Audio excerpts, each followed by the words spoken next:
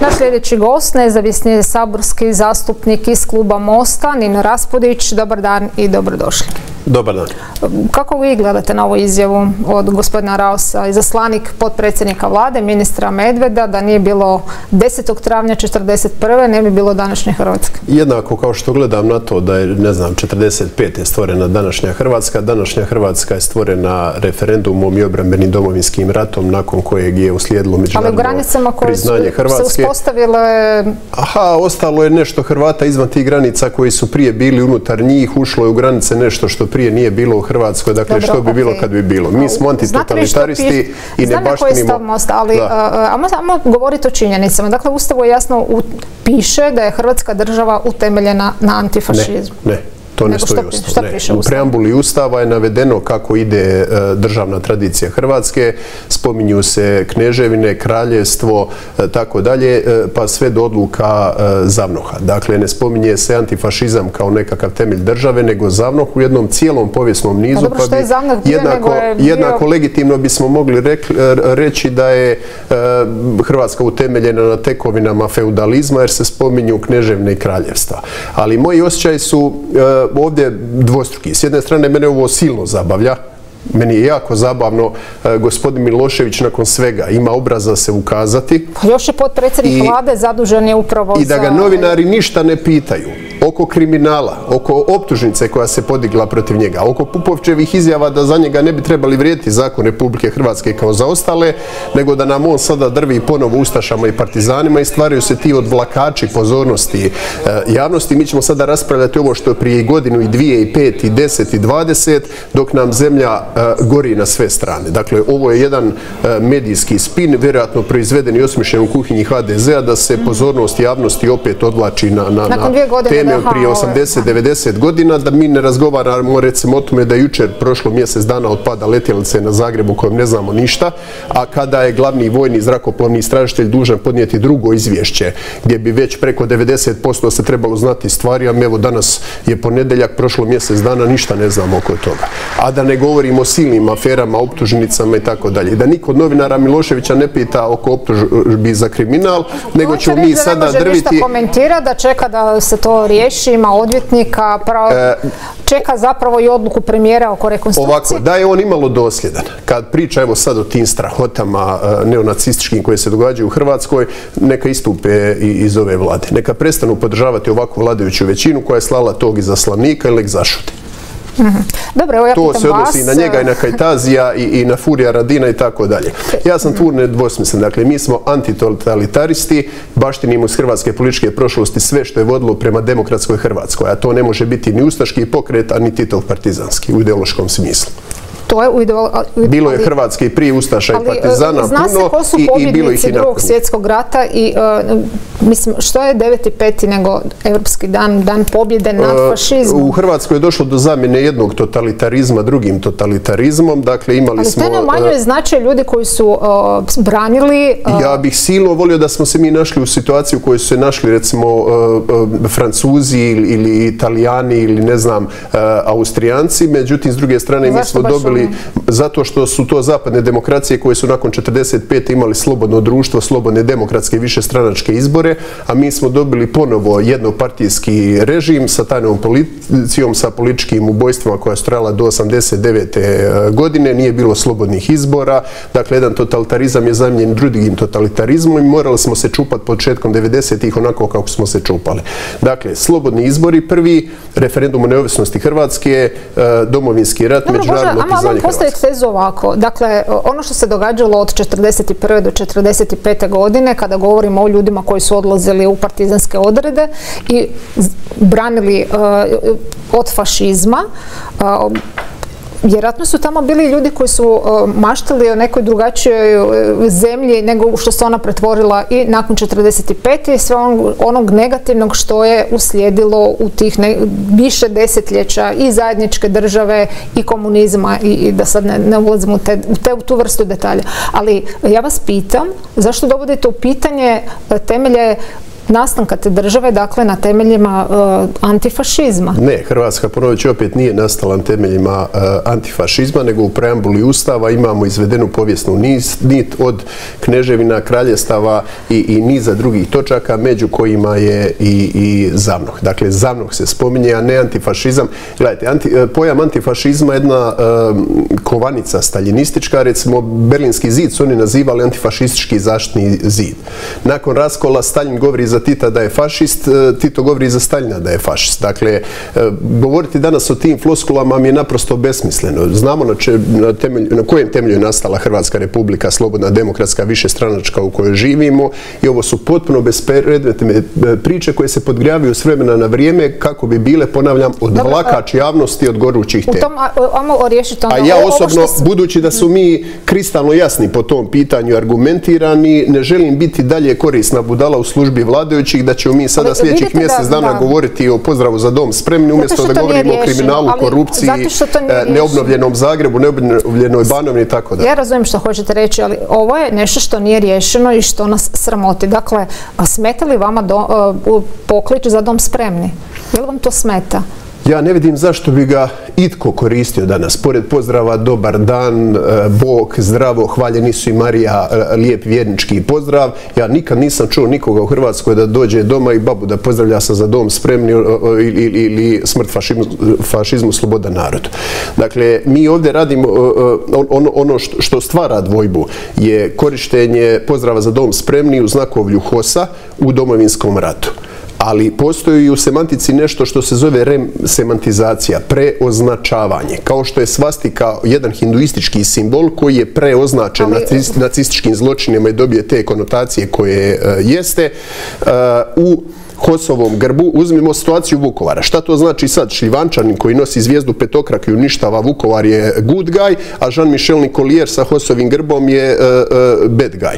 Dakle, nije tu situacija jednostavna. Svo znakovlje koje je korišteno u domovinskom ratu je neupitno. A mimo toga osjećam uh, odbojnost prema bilo Dobro, kakvom totalitarnim simbolima, bilo lijevim, bilo. Kako su nastale Hosove postrojbe, znamo sve o tome. Dakle, uh, Dalo bi se tu pričati. Oni su se recimo stavili pod zapovjedništvo Alije Zetbegovića u BiH u jednom trenutku. Dakle, iz perspektive hrvatskog interesa puno toga bi se uh, dalo reći. Ili što ali, ali, u situaciji gdje Tuđman dokazuje stranoj javnosti da to nije obnova NDH, oni proglašavaju NDH i tako dalje i tako dalje. Taj pozdrav je uprljan NDH-om i zločinima koji su se počinili za vrijeme NDH. Dakle, jel tu možemo biti jasni da, da jednostavno ne treba postojati u javnom Ja mislim da, mi dakle govorimo sada o znakovlju koje je dijelom resemantizirano. i kažnjava visoko, pa nije, Austrija mi nije neki pokazatelj načina koji se prema vlastnim građanima do jučer odnosili u ovoj korona krizi. Austrija mi nipošto nije uzor ni demokratičnosti. A sad miješate kruške i jabuke, ali su jasni oko neke stvari s prošlosti. Da, mislim, možemo sada ponovo ovome, razgovarali smo o tome i lani, ja sam o tome puno i pisao već 15-20 godina, dakle mi smo tu nesumnjivi. Ponovit ću još jednom, baštinimo iz hrvatske političke prošlosti, sve što je vodilo prema demokratskoj Hrvatskoj, to nije ni Pavelić ni Tito. Most. most. Pa vi niste u Mostu. Ja sam član kluba Mosta i mi smo vrlo dobro pretresli sva politička i ideološka pitanja prije što smo zajedno izašli na crtu. Dobro, rekli ste da zapravo bačena kocka od HDZ-a, da se Ja sam uvjeren da će sljedećih mjesec dana se pumpati u javnosti sa svih strana priča pa opet svakoga dana pitamo premijera što je s rekonstrukcijom, zašto, evo kažu, nakon, nakon uskrca... Pa evo, pitajte ga, pitajte ga recimo e, zašto se u, mjesec dana odpada letjelce veličine MIGA 21 na Zagreb, gdje Božijom providnošću nije poginulo par stotina studenata u domu na Savi. E, prvo, e, zašto se nijednom nije pojavio E, glavni vojni zrakoplovni istražitelj. To je osoba koja je mjerodavna za ovu istragu i vrlo su jasni tu e, e, propisi. Dakle, unutar mjesec dana on je morao podnijeti drugo izvješće, to je zadnje izvješće prije onoga završnog zaključnog, gdje bi već većinu stvari mogli znati. Prije svega nas zanima profil leta profil leta. Je li taj let išao ovako, da je došla letjelica iza Zagreba, pa oko mi to pala jer je slučajno ostala bez goriva baš iza Zagreba, ili je taj profil leta ovakav? Onda je neko gađao baš Zagreb. Pa mi to za Boga moramo znati. Nakon mjesec dana. Slažem se, evo Umjesto kaže toga oni su, oni su govorili ima eksploziva, nema eksploziva, nadvijala se na neku rupu. Evo, evo samo na tom primjeru vidimo koliko nama upravljaju potpuno nekompetentni e, ljudi. Pa da se vraćamo zašto nije obnovljen Zagreb, što je s Banovinom, uh, ministar završi u zatvoru, vlada ne podnese ostavku, troje drugih ministara je pod istragom, što je s ostalima, on nam prodaje priču o rekonstrukciji vlade, mi to zovemo šminkanje mrtvaca. Dakle, umjesto da o tome pričamo, mi ćemo sada po 500 put, ajmo mi malo za Pričamo zaista, zaista i o tome, ali kada spominjete ovaj dron, odnosno letjelicu, DORH vodi tu istragu, kaže premijer, a s druge strane čuli smo od predsjednika države koji je rekao da je vjerojatno to izvješće spremno, ali da ga javnost neće dobiti zato što to u ovom trenutku ne odgovara ni Plenkoviću ni, ni, ni, HDZ-u, pogotovo ministru koji se tamo naslikavao skupo sa još nekim svojim kolegama i premijerom iznad te rupe. Dakle, da će DORH objaviti to izvješće kada to više nikoga ne bude zanimalo. Jel, e, mislite da je u pravu? Neće to prestati nikoga zanimati. Dakle, mene jako zanima na središte grada Zagreba kako je pala i odakle je tolika letjelica. Sreća je puka, kaže da nije bilo desetine, možda i stotine mrtvih, sasvim drugačije bismo sada razgovarali o tome. Dakle, mene to zanima sada, zanimat će i za godinu i za dvije. Ono što ovdje vidim kao problem je ako je istraga tajna, kako su oni mogli onda govoriti najprije ova jedan, jedna osoba iz MUPA, onda i Banožić pa i sam Plenković da je tu bilo eksploziva, da nije bilo eksploziva na letjelici, je li nije. Dakle, tu vidimo jedan krajnji amaterizam i diletantizam. A ono što je bilo šokantno je izjava glavnog trajnika NATO pakta da je letjelica pala e, izvan Zagreba a znamo gdje je pala. I da ga niko ne upozori, da se on ispriča, da demantira to. Dakle, jedna potpuno mutna i nepronična priča. Što je sa istragom, e, ko je kriv, zašto je ta letjelica preletjela tri NATO zemlje i, i došla do Zagreba, da niko nije upozoren? Pa nije moguće da ćemo sada prešutjeti i praviti se kao da se ništa e, oko toga nije dogodilo i da nećemo pokušati pokrepati taj NATO štit evo, ko, ko, koji Mislim stoji. Mislim da su izjave u tom smjeru, da je to jedna dobra opomena, da se malo ipak izoštreti e, koje kakvi radari i točkice koje pa se evo ja bih volio čuti koji su zaključci te istrage, ko je napravio uh, propuste, jesu li propusti bili u, u, u Mađarskoj, jesu li bili propusti u Hrvatskoj, jesu li bili u NATO-vom operativnom centru u Španjolskom, dakle mora se nešto iz ovoga svega zaključiti i vidjeti neke odgovornosti i što i kako popraviti. Budemo. Ovo je, vrlo zabrinjavajuće. Budemo kad zaboravimo na, na, na A budemo kad odvrtimo opet za dom spremni smrt fašizmu, preambule ustava i sto put prežalka ne priča. Dobro, i Most se zalaže zato da se održe prijevremeni izbori, očito njih neće biti, ide se na, na tu rekonstrukciju koju vi nazivate šminkanje mrtvaca. Kad već spominjemo zapravo cijelu ovu priču oko letjelice, NATO-a i slično, um, mislite da tu rekonstrukciju treba biti obuhvaćeni ministar Banožić, e, za kojega i koalicijski partneri kažu da je jednostavno nesposoban. E, Plenković bi najprije trebao rekonstruirati samoga sebe, jer je nevjerojatna količina ministara koji su smijenjeni iz razno raznih razloga koje on sam birao.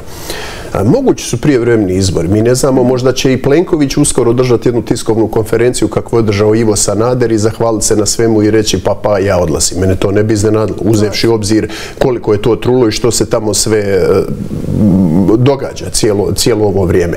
Dakle, e, vlada je, ponovit ću još jednom, u svakoj normalnoj e, zapadnoj demokraciji, nakon što ministar izravno završi u zatvoru, i to ne bilo kakav ministar, nego ministar čije je ministarstvo odgovorno zašto dvije godine ništa nije obnovljeno u Zagrebu, a godinu i tri mjeseca na Banovini i nakon što za troje još članova vlade se, se ovaj, podižu optužnice, nevjerojatno je da ta vlada već nije pala i da se nije vratio mandat na raspolaganje građanima da izborima donesu svoj pravorijek, nego da nas uvjeravaju da se to može popraviti i rekonstruirati. Dobro, kada sam već kod e, obnove i, tog ministarstva, jeste vi ostali zapanjeni imovinskom karticom Ivana Paladine?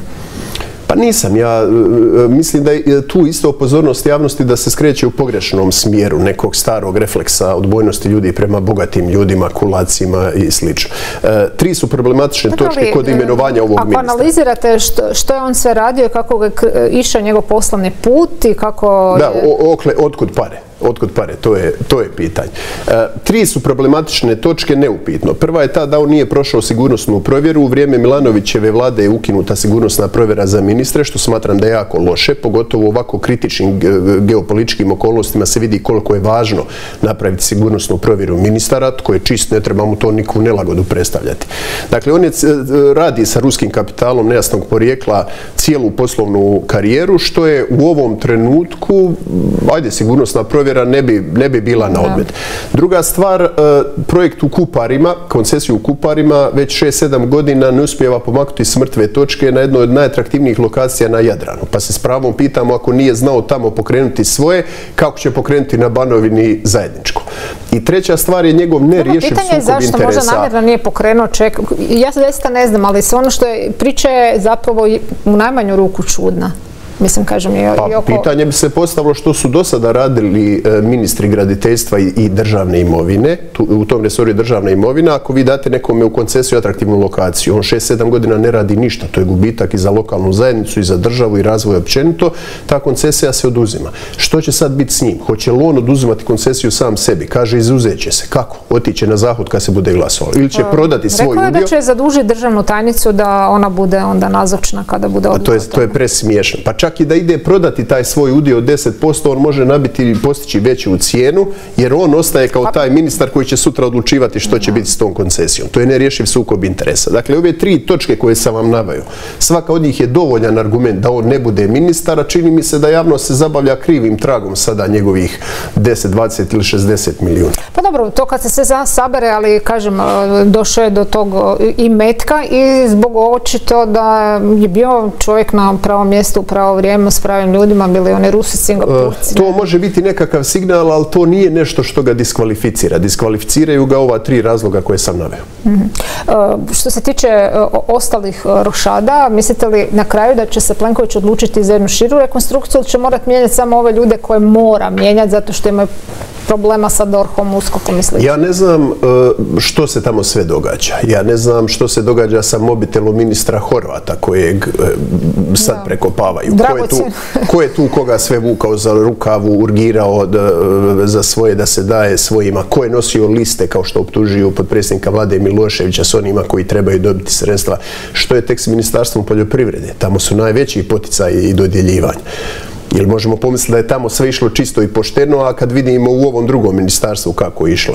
Dakle, sve to tamo je vrlo e, trusno, vrlo trulo. Ja mislim da smo već blizu, blizu domino efekta onog trenutka kad svi počinju pjevati i zviždati da bi zaštitili svoje Ali kod birača sve to što ste navali vrijedi 25%. 25% nije dovoljno za formirati vlast a kad se padne s vlasti i otkači od korita, 25% vrlo brzo se prospe. Dakle, to je dobrim dijelom ta klijentela koja je interesno vezana uz njih, koje HDZ hrani i oblači i nemaju drugog. Dok su na vlasti, bit će uz njih. Dobro, ali to nije dovoljno za zadržati Nije, nije, ali e, samo još kratko ta široka koalicija, tu most je, nije, vidimo da... Most neće ići u predzabornu nikakvu koaliciju. Pa ne, ne, ne, ne mislim, mislim da je pošteno da svako izlazi i sam, da dakle, odmjeri pravu snagu mi, smo svojih stranaka. Vrlo, vrlo jasni po svim stajalištima politike gdje stojimo koja su naša stajališta, isto tako nećemo ni u kakvom budućem slaganju vlasti kompromitirati te naše temeljne vrijednosti, ali ako se može postići nakon izbora jedan širok široki konsenzus da se ova kriminalna hobotnica skine s vlasti i demontira do kraja, da se očiste hrvatske institucije. Dakle, u, tom smislu na jednom takvom reformskom prelaznom projektu e, mi svakako smo spremni sudjelovati ako se može postići jedan fair dogovor uz nešto što sam ja kolokvijalno nazvao ideološki moratorij. Da, to je jedino, jedino pod tim uvjetom čini mi se moguće. Ali vjerujte, e, upravo iz te perspektive nije slučajno da se sada iz ormara vrate, vraćaju Ustaše i Partizani i da se to gura u javnost kao evo to bože važna i, i goruća tema. Hvala vam lijepo na gostovanju, bit će još prilike. Hvala, Hvala i ovoj temi koju smo sada otvorili.